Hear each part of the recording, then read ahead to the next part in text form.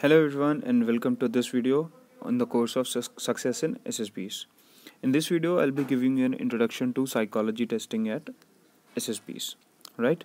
This course is brought to you by ssbprep.com and please visit the website so that you can get more resistance in your preparation. Now why am I teaching you psychology before telling you about screening?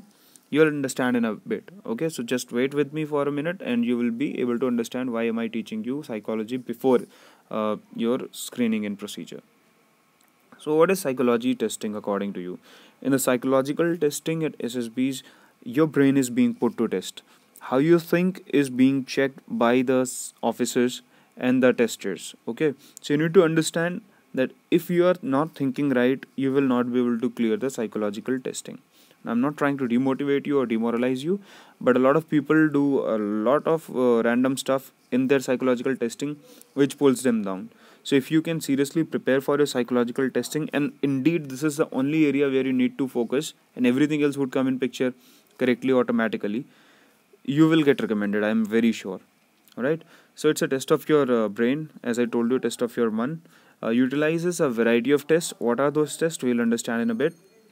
And it defines your inner self. It pulls out who you really are because you can hide your personality from anyone but you can never hide it from a psychologist. He will be able to understand he or she whoever it is. So what are the tests conducted under? Your psychological testing. First one is picture perception and description test. Now because this test is conducted on your screening day this is why i did not go ahead with screening and rather started with the psychological testing.